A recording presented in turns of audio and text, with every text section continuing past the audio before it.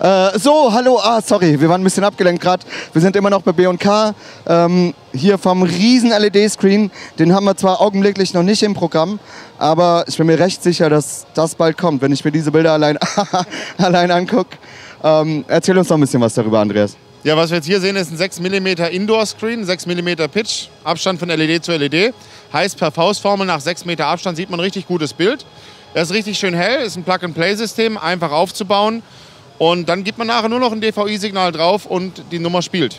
Also du kannst im Prinzip einfach einen Computer anschließen, einen DVD-Player, was auch immer, also wenn er einen entsprechenden Ausgang hat.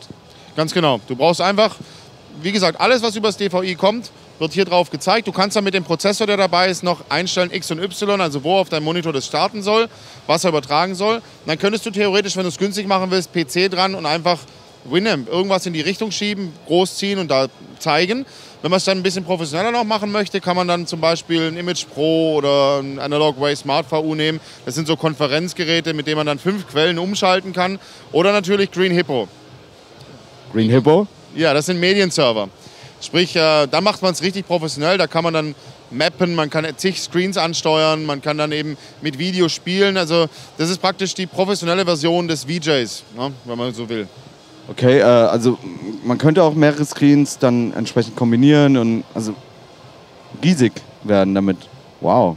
Ähm, wie ist das mit dem Transport? Also äh, wie, wie dick ist sowas zum Beispiel? Also interessiert mich als Laien jetzt.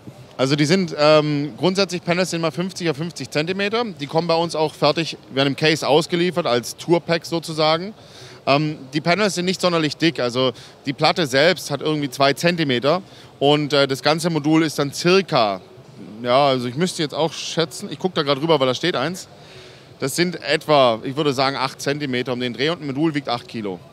Also ist nicht wirklich äh, groß und schwer. Ja, cool. Also ähm, äh, ich hoffe, Fabian, du entschuldigst uns ein bisschen. Wir müssen noch ein bisschen gucken, ja? Bis später.